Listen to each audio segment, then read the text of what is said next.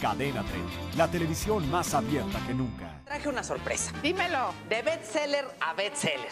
O sea, tú eres escritora y que te está yendo muy bien porque, aunque Figueroa no lo diga, su libro de Luis Miguel ya es bestseller en este país y en Latinoamérica. Así que eso merece un aplauso con redoble.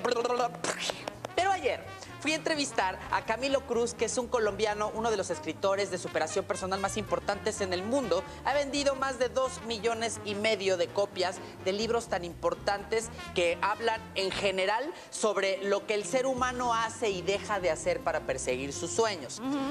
Después de tener esta zona de confort tan importante en su vida, o sea, decide hacer su primer novela, que me parece un riesgo innecesario, pero sabroso. Es como, es como cuando ya conquistaste muchas tierras y de repente decides ir a la jungla por más, ¿no? Eso fue lo que él hizo y fuimos a entrevistar al gran Camilo Cruz y esto fue lo que nos platicó. Y bueno, este regalito es para ti. ¡Eh! Muchísimas gracias. Gracias, mi Luis. ¿Por qué, por qué siendo un autor que tiene millones, millones, escuche usted muy bien, de libros vendidos, como por ejemplo de la vaca, o, este, o, el otro que me encantó, que ya se me olvidó, la ley de la atracción, este, ¿en qué momento decides salir de tu zona de confort de hacer un- una novela? Pues fíjate que, hay algo que, yo supongo que a ti te pasa también, y es que cuando tú llegas a esa zona de confort, donde ya puedes decir, oye, ya, ya, ya no tengo que, ya, ya puedo parar de crecer, porque hasta aquí, si sigo aplicando lo mismo por los próximos años, eh, estoy, voy a estar bien. Eh, tienes dos decisiones que tomar, ¿no?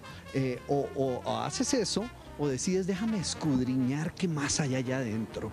Y pues yo, yo sentía, había una, una historia, que es la historia del regalo inesperado, que me había dado vuelta a mí por más de 10 años y que yo no creía que la manera de contarla era la misma que había utilizado para contar la vaca o la ley de la atracción. Pero ¿qué va a pasar si como novelista no eres tan exitoso como, como lo eres como teórico? Ese es el riesgo.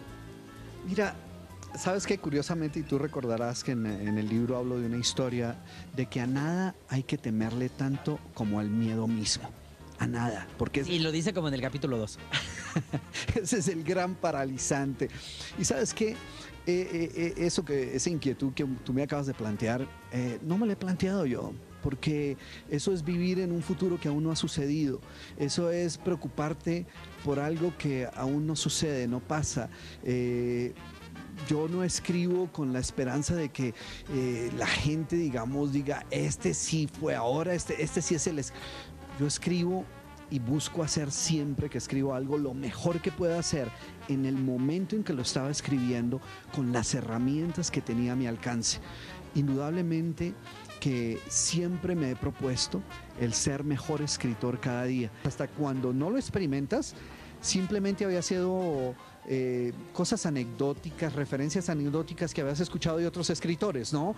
Cuando les preguntaban a otros escritores, ellos decían, no, no, no, pues el personaje tomó vida propia y se me salió de las manos. Yo no decía, ay, por favor, ¿qué es eso de que tomó vida? Si eres tú el que estás escribiendo cada línea, cada ver, cada palabra que él dice, ¿cómo que se te salió de las manos? Pero encuentras que en realidad sí es así. Yo simplemente quiero que el lector la pueda disfrutar tanto leyéndola como yo la le como yo la disfruté escribiéndola. ¿Qué lecciones saque?